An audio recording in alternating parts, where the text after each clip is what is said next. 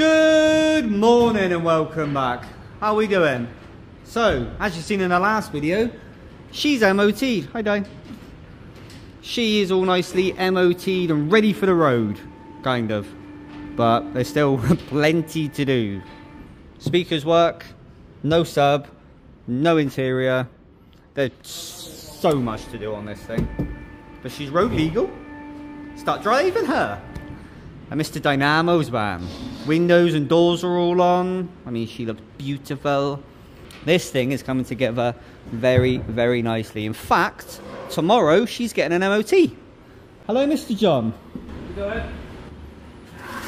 How are we, sir? This is John's van. He's had this thing in here, just doing a little bit of work to it. He was having some hydro issues. Nice big batteries, and now she works perfect. But this is what John is taking on the NC500, his actual hydro van.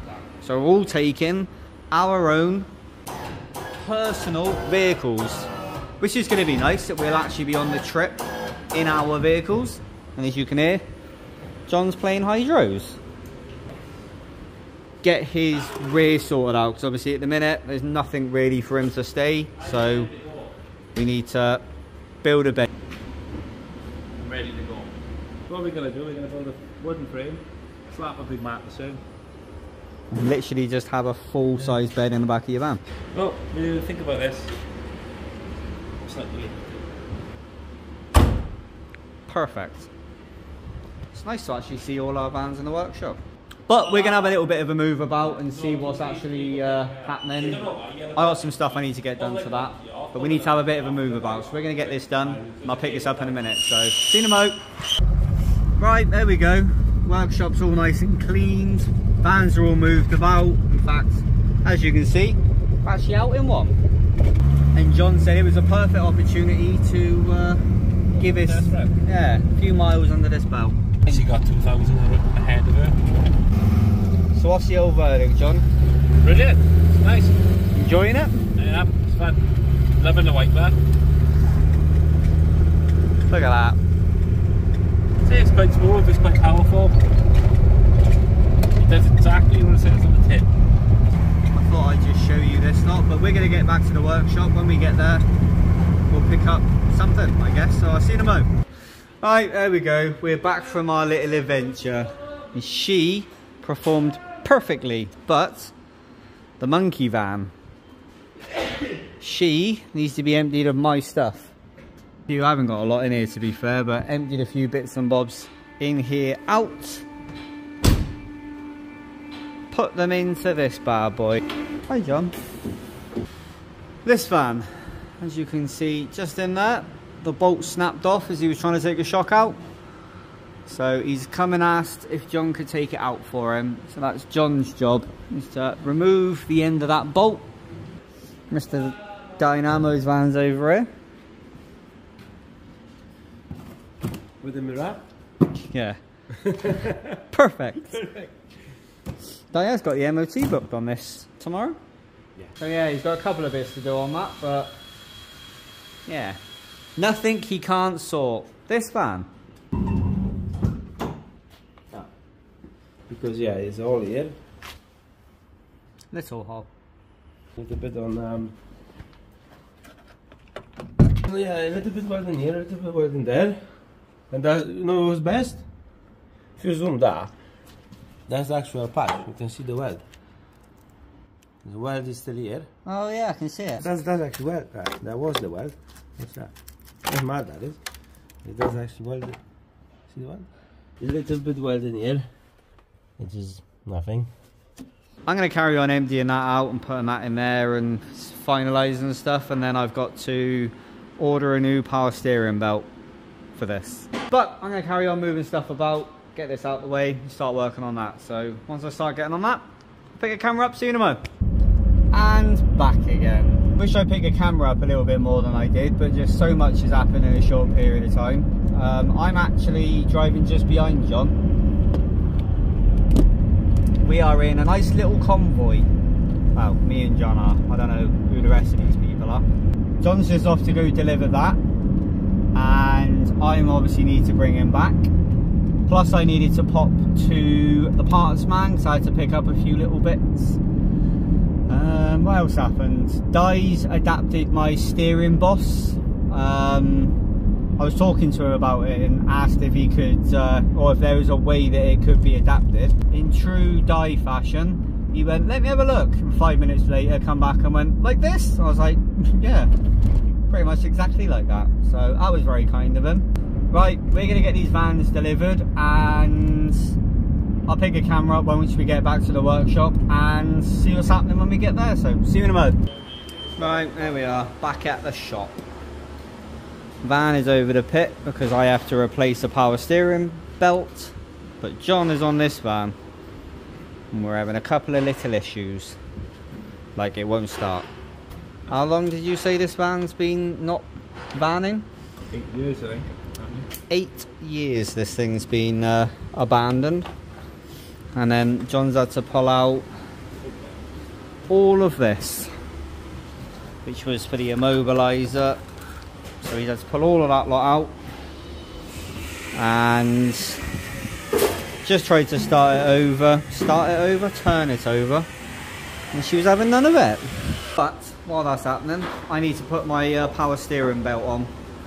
So the power steering belt or alternator belt or whatever belt you want to call that but it's a bit loose. So that is my new belt which hopefully well it's actually a tad bit shorter than the one that's on there.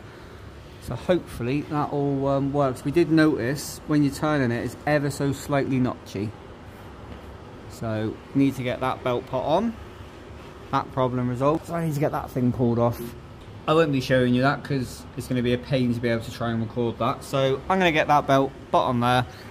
And once I've done that, pick a camera up and show you. So see you in a moment. What an absolute nightmare that was.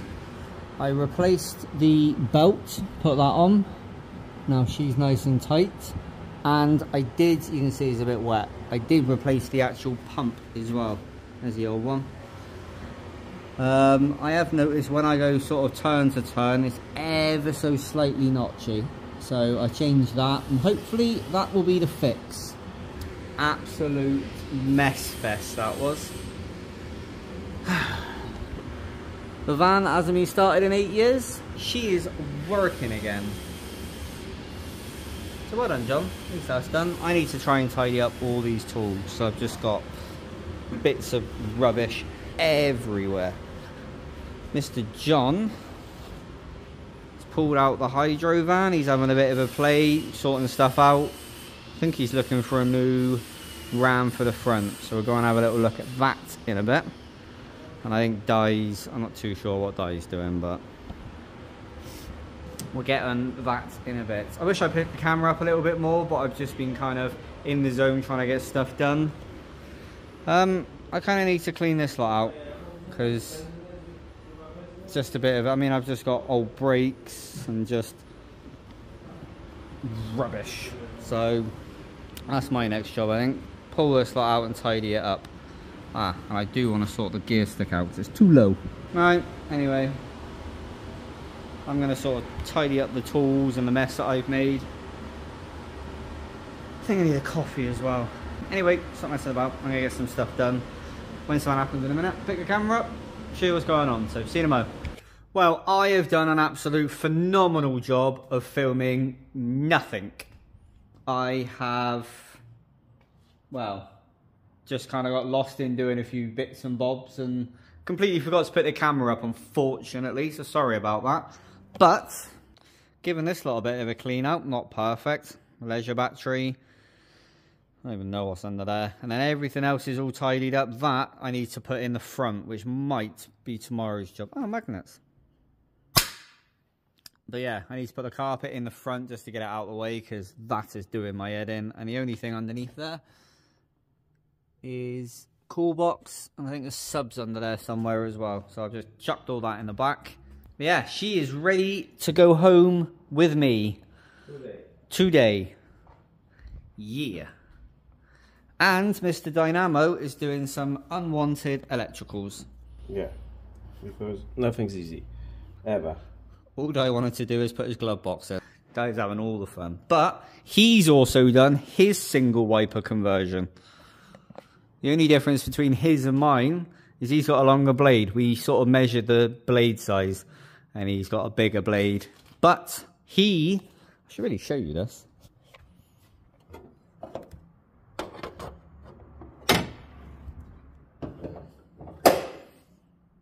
Well, he did wrap the, the front grille, but look at that. Oh, lights right in the way, quality. Obviously it's going to have the pillars, so you're not going to see the yellow. Look at that. Single wiper. Times two. Perfect. But he's just putting the rest of the dash all back together again. I'm not quite sure what else he's doing. I'll have to ask him in a bit. But this is going for an MOT tomorrow. Perfect. So that got MOT'd. Perfect.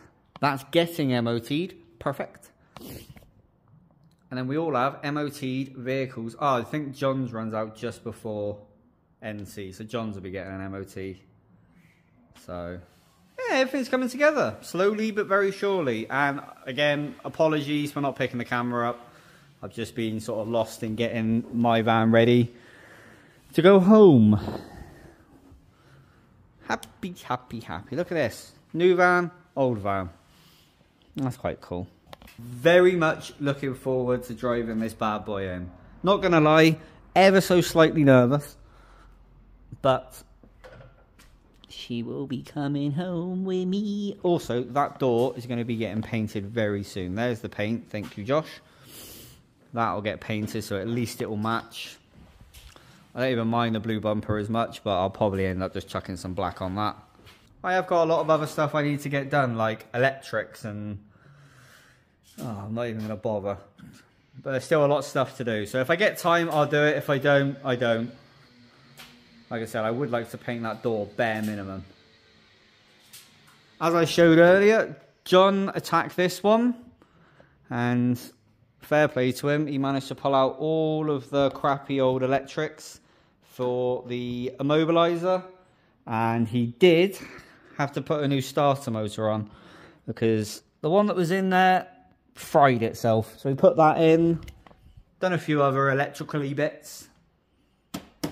And after eight years of not running, fired into life. Now, he has got a lot of other stuff to do. It's, I mean, it's just everywhere's crusty and needs brakes and it needs ball joints and needs steering arms, it needs suspension. Um, I think he said it needs springs, I'm not sure. But everything needs a little bit of a, a fettle.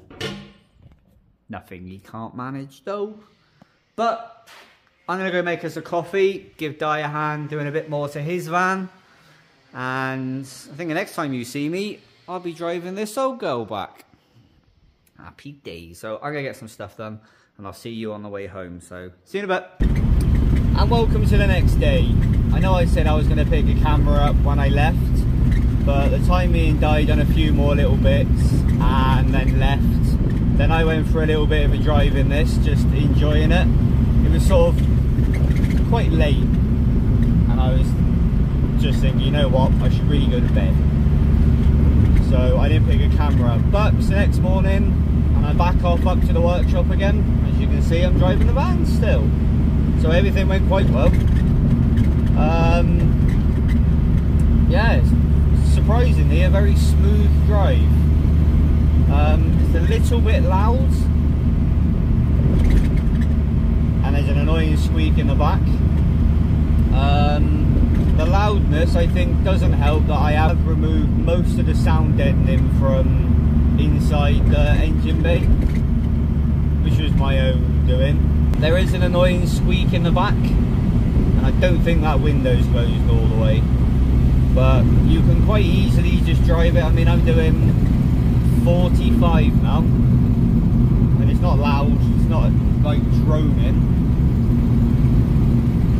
But I'm going to stop rabbiting on, do the last little bit, get to the workshop, pick a camera straight back up again, and do today's video. So hopefully you've enjoyed. If you have, please give me a massive thumbs up, and go over to Facebook, give the Dog Houses Facebook a like for me, please, because none of this would have been possible without them. So, that's it. Thank you very much for watching. Thank you very much for putting up with our dumbass. And as always, take it easy.